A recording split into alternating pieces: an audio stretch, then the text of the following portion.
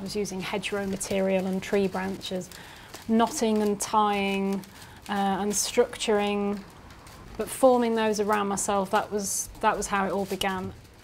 Trying to create forms that I could step right into.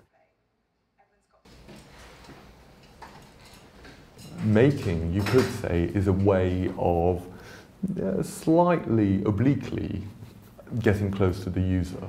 And that, I think, is in the end a really central part of making architecture because it is about making places for people to be in, to use, to visit, to socialise in, or whatever.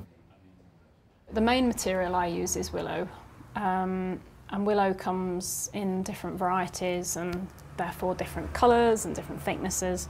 The more I develop myself as a maker and a sculptor, I'm looking at new materials now all the time. The materials often are influenced by a site as well.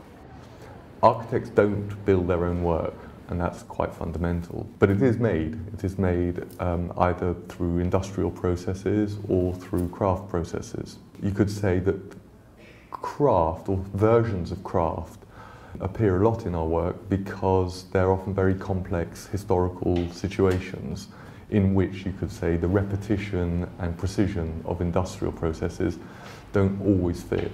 Because it's hand tied, every piece of willow that I use is placed um, into its site, it's woven on site, it can be, it all begins as a delicate framework and it's built onto something. So the thing, whether it's natural or man-made, the thing that it is built onto determines the, the form that I produce. And you might not even be able to see the entire structure. You might not see what you would term the front or the back because you're in it. So, you know, you sort of inhale in this space.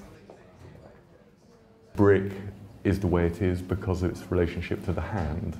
Um, you know, a hammer is really just an extension of your arm. Most building techniques are somehow related to the body. I think to be aware that every line involves labour, every line involves different forms of skill, um, is really important for the architect. Somebody is going to have to make that line that you drew. And it's not a line, it's a surface, it's the edge of a material.